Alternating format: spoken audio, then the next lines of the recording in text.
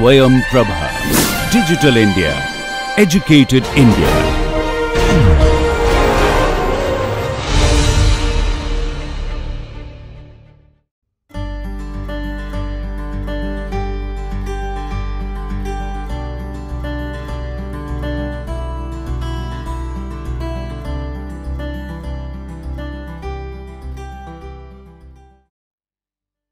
In the last lecture, I mentioned that we will study quantum mechanics by studying 5 postulates.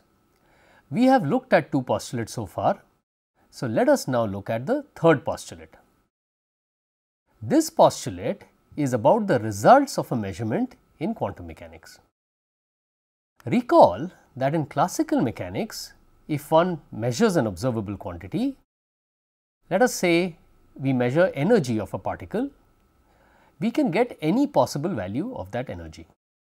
There is no restriction on the values that one obtains when one makes a measurement on a classical particle. However, that is different in quantum mechanics and that is what postulate 3 is about.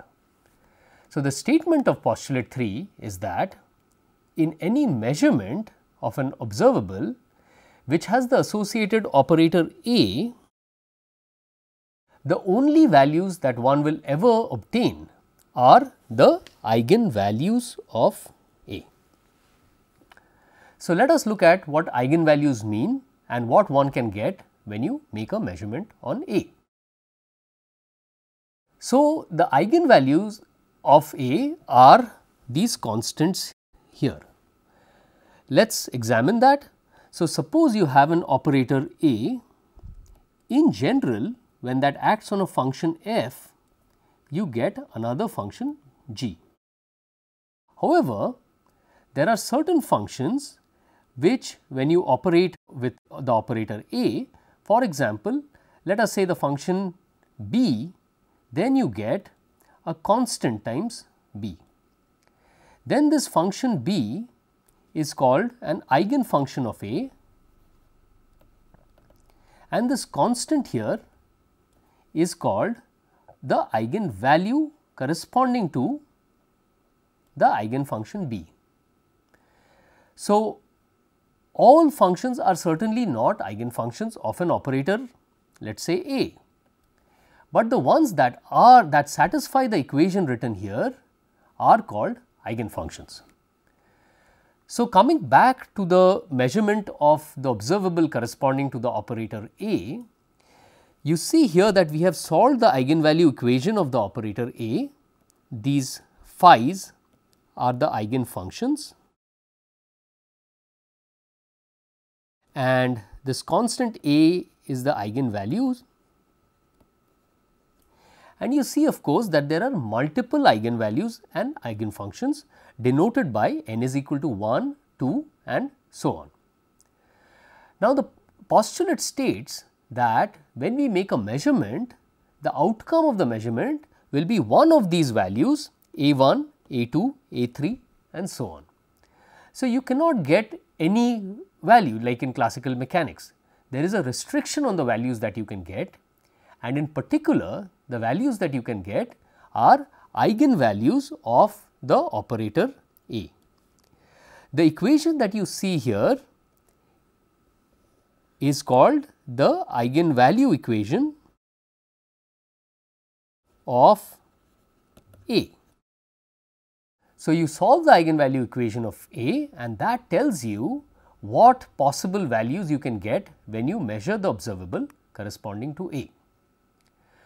Now, note here that it does not matter what the wave function of the system is, it just depends on the operator. So, if you are measuring the energy the eigenvalues corresponding to energy are what you can measure when you make a measurement of energy on the system. It does not depend on what the wave function of the system is. But the wave function as we have seen contains all information about the system. In particular, it will tell us which eigenvalue is obtained when you make the measurement. So, let us look into that question now. So, here we have written the eigenvalue equation again and the eigenvalues of the operator are A1, A2, A3 and so on. The question is which eigenvalue is actually obtained when you measure A. In general, there is uncertainty about which eigenvalue is obtained if we make a single measurement on a single classical system. Now, this of course is in contrast with classical mechanics, where if you have uh, multiple replicas of an identical system, then when you go and measure a property, you will get the same value of that property when you make a measurement on two identical systems. This is different in quantum mechanics and therefore, quantum mechanics is very non-intuitive that even when you have identical systems or if you imagine identical replicas of a system and you make measurements on those systems, you can actually get different eigenvalues when you make a measurement. So, there is uncertainty about which eigenvalue is obtained. However, even though these eigenvalues would be different in these multiple replicas, there is something which is certain and that is that these eigenvalues have very definitive probability for occurring. So, for example, if we call the probability of obtaining eigenvalue A as P of A1, probability of obtaining eigenvalue as P of A2, these probabilities have a distribution. So, if you plot this and you write eigenvalue A1, A2, A3, A4 and so on on this axis and on this axis you plot the probability of obtaining a certain eigenvalue let us say AI, then it could be that A1 has this probability, A2 has that probability, A3 has a certain different probability, A4 might have 0 probability and so on. This information is contained in the wave function and this distribution of eigenvalues is absolutely definite. So, although the result of each individual measurement is uncertain and is not definite, when we make a large number of measurements on multiple replicas, then the distribution of probabilities of each eigenvalue is completely definite. That is what the next postulate is about. It tells us what this distribution of probability will be.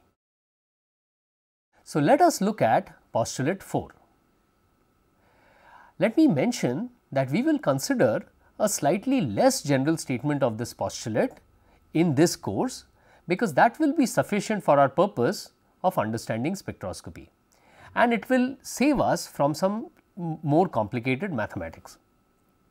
So, the statement that we will consider as postulate 4 is that when we make a measurement of the observable corresponding to the operator A and the wave function of the quantum system is represented by the normalized wave function psi, then the average value of the observable obtained is given by the integral here which is psi star a psi d tau integrated from minus infinity to infinity which in shorthand notation is written like this the Dirac notation which we have seen before in the previous lecture or you know the notation which denotes average which is here on the left side.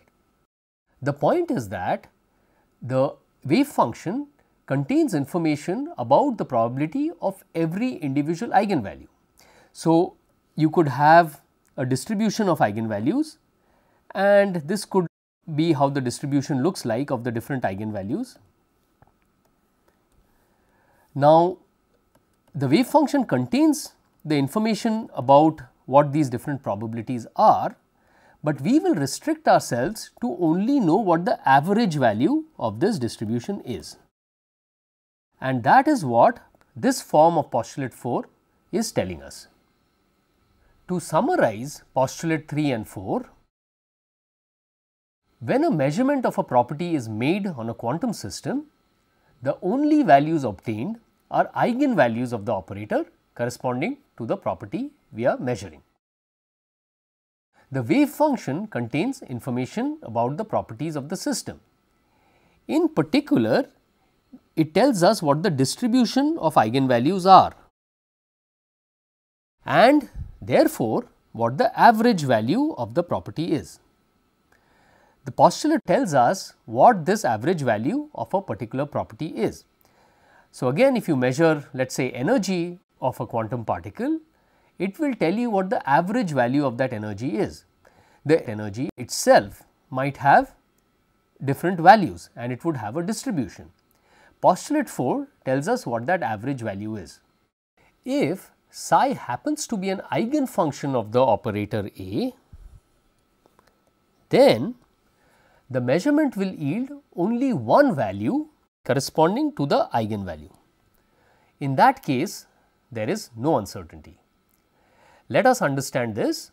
So, if you have the operator A and let us say phi i is an eigenfunction with eigenvalue a i.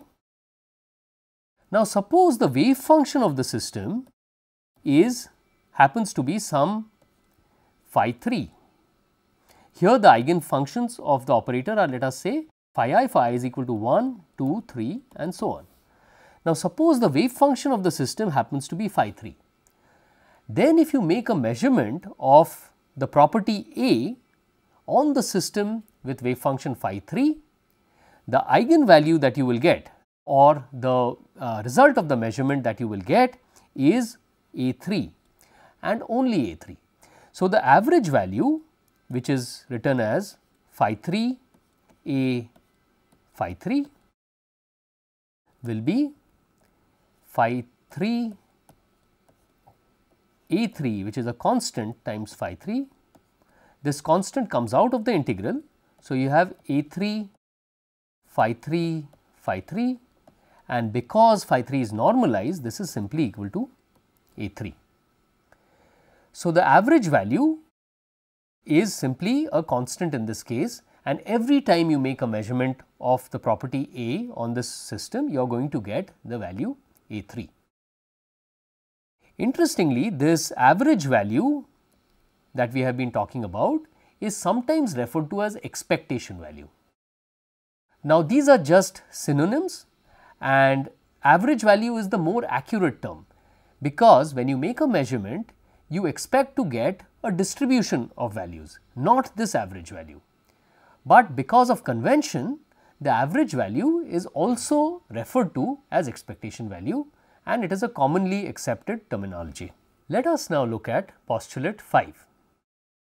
This postulate tells us about the time evolution of a quantum system. Recall that in classical mechanics, the time evolution of the position and the momentum of a particle was given by Newton's laws.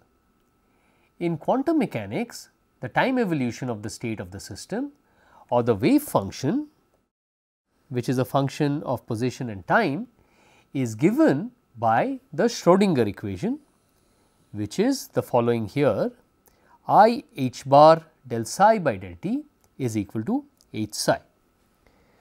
H as we have talked about before is the Hamiltonian operator which corresponds to the total energy, the kinetic energy and the potential energy. So, this is the total energy operator. So, we can see that the Hamiltonian operator is particularly important for quantum mechanics. It tells us how this wave function evolves in time. The left hand side of this equation is the first derivative with respect to time and the right hand side is the Hamiltonian operating on the wave function. Let us consider a special case which will be particularly important in the study of chemistry. This is the case when the Hamiltonian does not depend on time. These systems are called conservative systems because you can show that in this case the average energy of the system does not change with time. So, for systems where the Hamiltonian is time independent, let us see how the wave function evolves in time. Let us try the following special form of the wave function here and see whether it is a solution.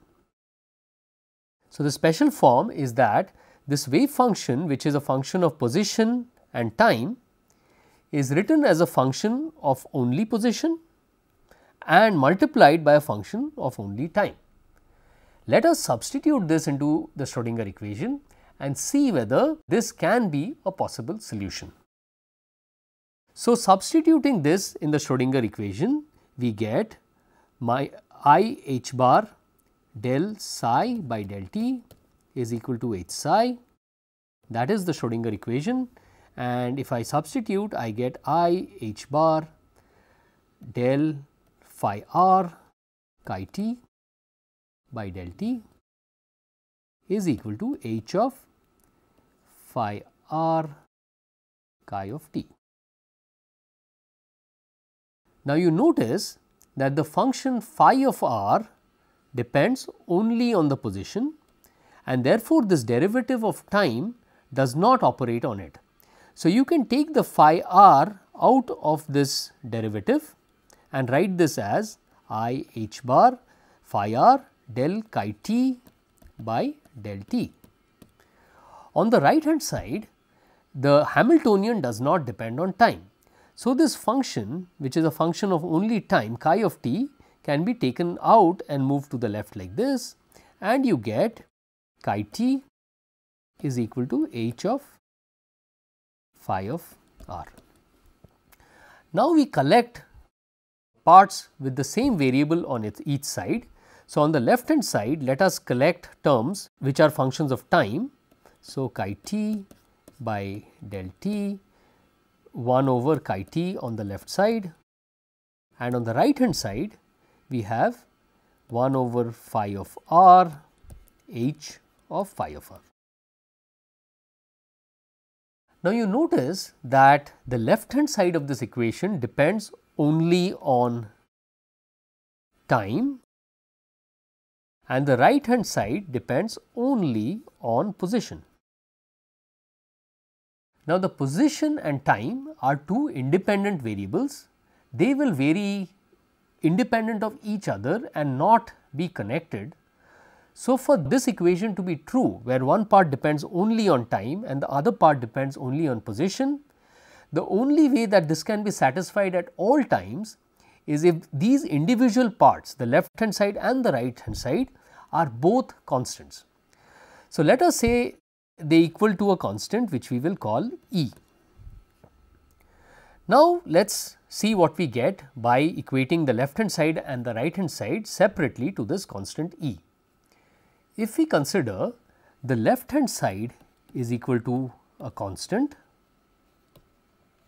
we get i h bar del chi t by del t 1 over chi of t is equal to E and this is del chi t by del t is equal to minus i by h bar E of chi t. This is now a first order ordinary differential equation where you have a function chi which when you take a first derivative gives you a constant times the function chi. Now, you know that a particular solution of this can be chi of t is equal to e to the power of minus i e by h bar t. So, you have this constant here multiplied by t. This will be a solution of this equation and you can very easily check by substituting it back into this equation. If you substitute the solution here on the left hand side, you will get the right hand side.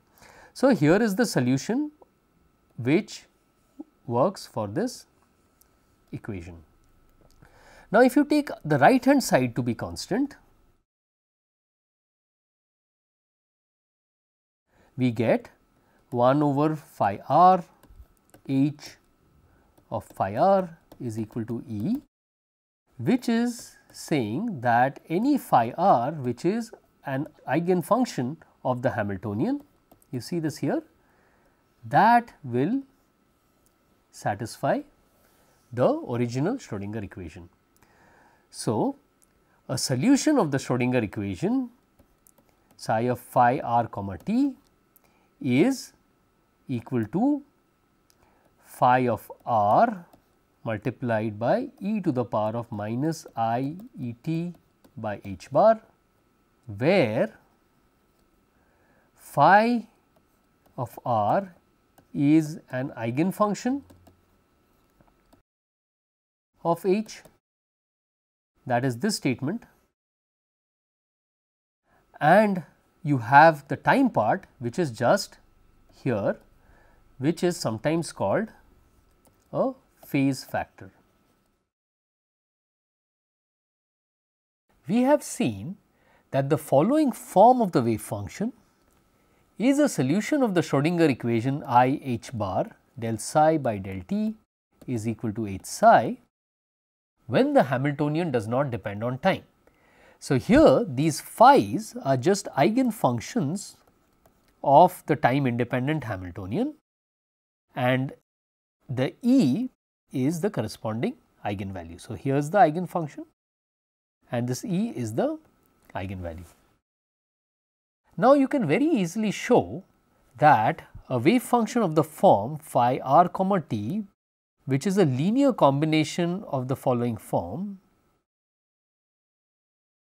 j c j phi j of r e to the power of minus i e j t by h bar is also a solution of the Schrodinger equation.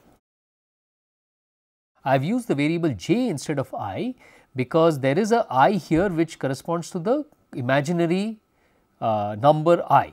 So, just to avoid confusion I have used e j. Now, this result that a wave function of this form is a solution is a fairly powerful result, because it gives you a way to write the time evolution of any general wave function. For example, let us say the our wave function at a time t is equal to 0 for a system is f of r. Now, you can write this wave function as a linear combination of the eigenfunctions of the Hamiltonian, because we have seen in postulate 2 that the eigenfunctions form a complete basis.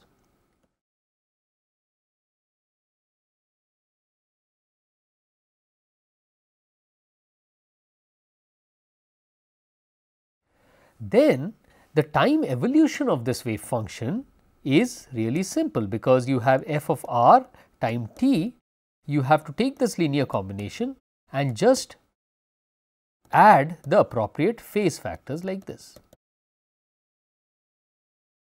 We have seen that this will be a solution of the Schrodinger equation. So, if h does not depend on time, it is very easy to solve the dynamical equation for a quantum system. The solution effectively reduces to solving an eigenvalue equation for the time independent Hamiltonian. This eigenvalue equation is called the time independent Schrodinger equation and sometimes in the context of quantum chemistry this equation is just called the Schrodinger equation. So, you have to know whether Schrodinger equation refers to this equation or whether it refers to the dynamical equation just based on context. Note that the wave function always evolves in time. Even if the Hamiltonian is time independent, the wave function evolves in time. We will now look at a further special case of conservative systems. This is the situation when the wave function is an eigenfunction of the Hamiltonian and it is a very relevant situation for chemical systems. Now, if the wave function at some time say time t is equal to 0 has this eigenfunction phi of phi n of r where this phi n is an eigen satisfies the eigenvalue equation of the Hamiltonian. Then we have seen that at time t the wave function has the following form. So, it is the wave function at time t is equal to 0 multiplied by the phase factor which tells you what this wave function will be at a future time t. Now, the probability density in this case very interestingly psi star psi does not depend on time and that is because when you take complex conjugate psi star the time part becomes e to the power of plus i e n t by h bar and that cancels with the time part in psi and this wave function becomes independent of time. Because this probability density does not depend on time, such states are called stationary states. We will use the idea of stationary states throughout this class. The other property of stationary states is that if we make a measurement of a property which has an observable which is time independent, then we get the same value at all times. The property measurement does not depend on time. We can contrast this with a situation where the wave function is not an eigenfunction of the Hamiltonian, but a linear combination of eigenfunctions of the Hamiltonian. Let us say we take a simple situation where it is a linear combination of two eigenfunctions phi 1 and phi 2. Then the probability density looks like psi star psi is equal to C 1 phi 1 r square plus C 2 phi 2 r squared plus the cross terms C 1 star C 2 phi 1 star r phi 2 r e to the power of i e 1 minus e 2 t by h bar plus C 1 C 2 star phi 1 r phi 2 star r e to the power of minus i e 1 minus e 2 t by h bar. We can see here that the probability density does depend on time unlike the situation where in the case of stationary states the probability density did not depend on time.